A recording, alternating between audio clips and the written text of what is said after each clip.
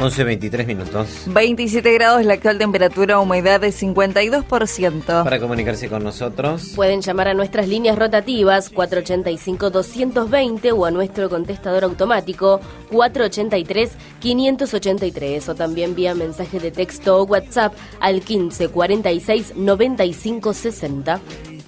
Bueno, ustedes saben que el caso que ocurrió esta semana con este hombre que termina apuñalado y la detención de su pareja ha generado todo tipo de eh, comentarios polémicos en, algunos otros.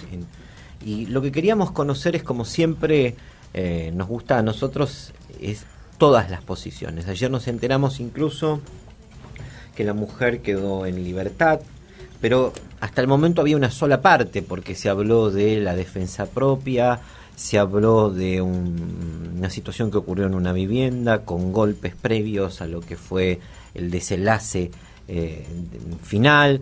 Eh, bueno, muchísimas cosas que necesitábamos y queríamos realmente conocer. Por eso estamos en comunicación con la doctora Sofía Díez, que es la abogada de esta mujer, a quien le agradecemos por este contacto. Doctora, mucho gusto, ¿eh? buen día. Buen día, mucho gusto. Eh, nosotros no mencionamos a su clienta, eh, no sé si, si podemos hacerlo o no. Mire, eh, prefiere, ella prefiere el anonimato, prefiere no salir a hablar, si bien es de conocimiento público y hay figura en algunas redes sociales quién es, este, yo prefiero no, no nombrarla directamente por un respeto a ella y para darle cierta tranquilidad que necesita tanto en este momento. Está muy bien. Eh, ¿Cuál es la situación de su clienta hoy, doctora? Eh, bueno, ella ayer le otorgaron, bueno, está imputada en un delito de tentativa de homicidio agravado por el vínculo. El fiscal pidió que se convierta, a ella cuando la, la detienen, la prenden, se dice exactamente, eh, el fiscal pide que se convierta esa detención en, esa aprehensión en detención. Este, bueno, ella anteriormente a esto declara en el artículo 308 se llama, este, después presentamos un escrito explicando las situaciones de defensa y explicando condiciones particulares de ella y el juez con, entiende que, no corresponde que se cambie su situación procesal, que no corresponde que esté detenida y le otorga la libertad. Este, todavía la causa prosigue, este, pero ella va a transitarla en libertad, como entendemos que corresponde. ¿Qué fue lo que sucedió en esa vivienda, si es que se puede se pudo reconstruir hasta el momento algo?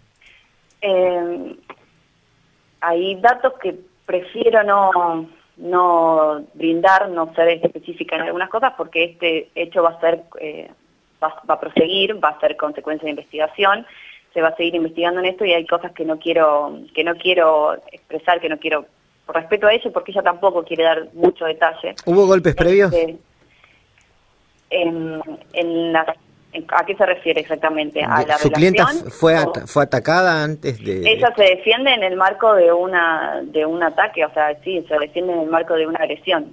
Este, ella responde en el marco de una agresión. Eh, eso sí, lo puedo decir. Este, nosotros, de hecho... ¿Con algún elemento o eran simplemente insultos y golpes de puño?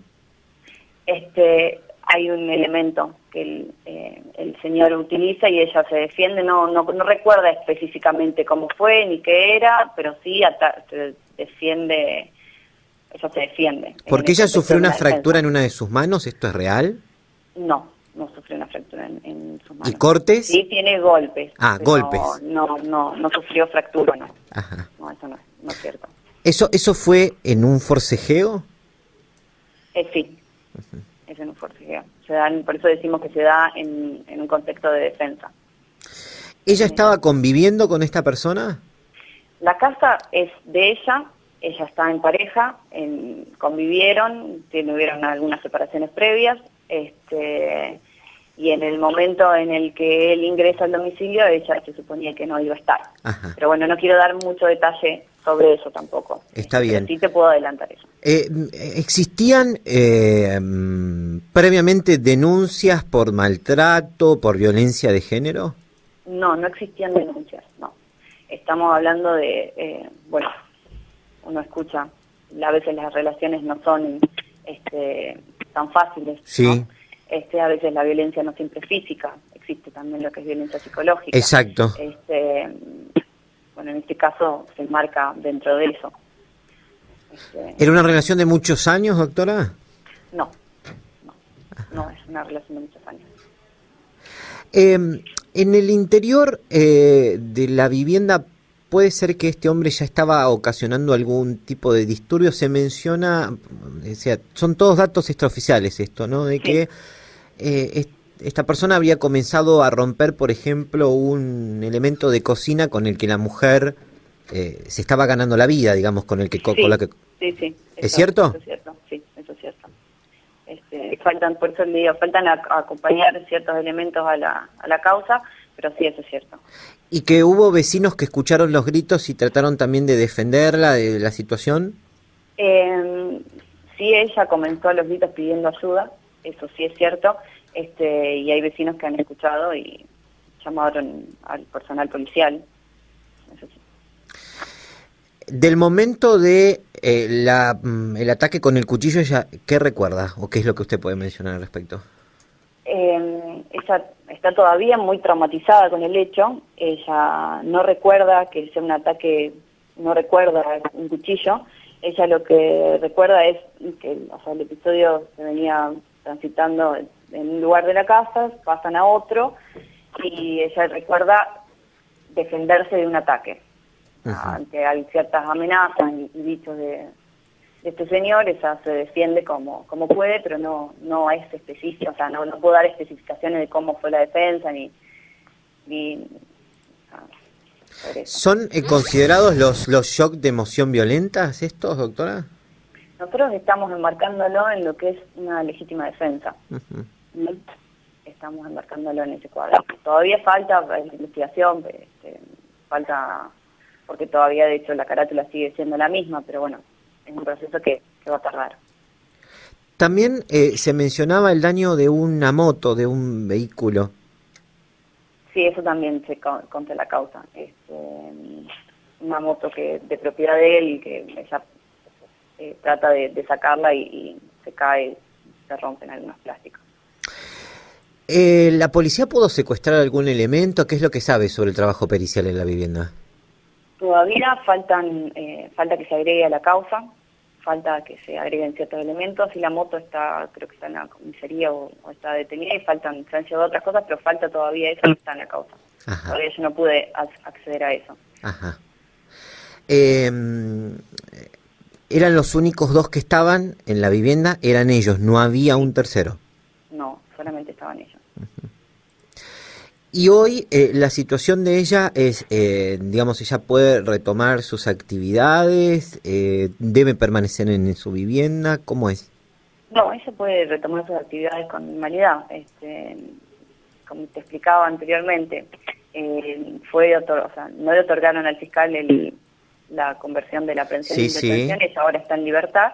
Este, si bien sigue vinculada a lo que es este proceso, que, que sigue siendo objeto de investigación y se van a aportar, tenemos que aportar nosotros también elementos probatorios, se, se pidió ya este, que, se incorpore, que se incorporan en la causa otros elementos que, que sabemos que, que tiene la policía pero que todavía no estaban, que todavía al día de hoy yo ya no, no sé si ya los habrán acompañado o no, porque hoy no pude ver la causa, este, pero está en libertad ahora ella. Si bien sigue imputada, sigue relacionada a este hecho, ahora está en libertad. ¿Tenía conocimiento usted de que se iba, a eh, se iba a hacer una marcha o algo por el estilo para pedir por su liberación? Conmigo nadie se comunicó, sí vi por redes sociales que algunas amigas de, de la señora estaban impulsando una marcha, pero eh, no, no llegué a tomar conocimiento ni, ni hablar con nadie, ni, ni explicarle a ninguna de las amigas, ni, ni a nadie. No tuve conocimiento exacto sobre eso. Y por suerte no, no hizo falta. Bueno, eh, esto realmente usted sabe ha generado todo tipo de, comentarios, ¿no? Usted sabrá que hay gente que, que conoce muchísimo a una persona o a esta, esta mujer, eh, hasta incluso los mismos vecinos también eh, que fueron los que comenzaron a preguntarnos eh, qué pasaba, cuáles eran los datos que teníamos, por eso también es que era muy importante obtener su, su palabra, porque, eh, digo, si no quedamos siempre con una sola parte de la historia, ¿no? Sí, sí, por eso mismo estoy hablando y estoy explicando lo que se puede, para hay amigas familiares conocidos de ella que estaban muy preocupados y también llevarles un poco de tranquilidad. Eh, con respecto a la familia, en este caso de este hombre, eh,